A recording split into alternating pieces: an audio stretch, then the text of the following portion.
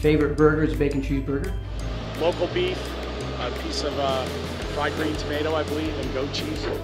Favorite burger is blue cheeseburger. Bacon. Always bacon on cheeseburgers. Bacon cheeseburger, bacon cheddar burger. Jalapeno with cheddar and cooked onions on a on an Arby roll. My wife makes the greatest triple burger with bacon. Eat two a day.